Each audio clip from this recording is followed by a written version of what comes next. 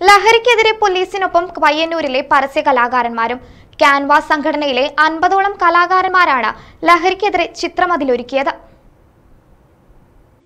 മദ്യത്തിന്റെയും മയക്കുമരുന്നുകളുടെയും കൊടിയ ദുരന്തങ്ങൾക്ക് കേരളം പലതവണ സാക്ഷ്യം വഹിച്ചിട്ടുണ്ട്. എന്നാൽ മുമ്പൊന്നുമില്ലാത്ത രീതിയിൽ ലഹരി വിതരണക്കാർ നമ്മുടെ നാട്ടിൽ ഭീതി പടർത്തിക്കൊണ്ടിരിക്കുന്ന സാഹചര്യത്തിലാണ് പയ്യന്നൂർ പോലീസ് സ്റ്റേഷൻ ചുറ്റുമതിലിൽ ലഹരിക്കെതിരെ ചിത്രമതിൽ ഒരുക്കിയത് വ്യാപകമായ പ്രചാരണ പ്രവർത്തനങ്ങളിലൂടെ പുതിയ തലമുറയുടെ തലച്ചോറിലേക്ക് പുതിയ ചിന്തയുടെ വെളിച്ചമെത്തിക്കുവാൻ ചിത്രമതിലൂടെ സാധിക്കുമെന്നുമുള്ള ഉറച്ച വിശ്വാസമാണ് സംഘാടകർക്കുള്ളത്.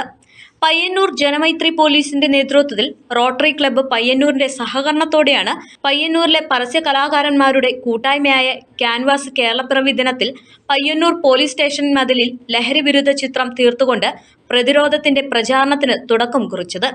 ചിത്രമതിലിന്റെ ഉദ്ഘാടനം നഗരസഭ ചെയർപേഴ്സൺ കെ വി ലളിത നിർവഹിച്ചു.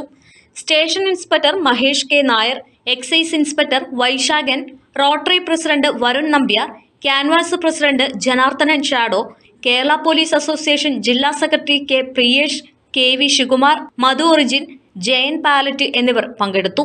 N light news Payyanur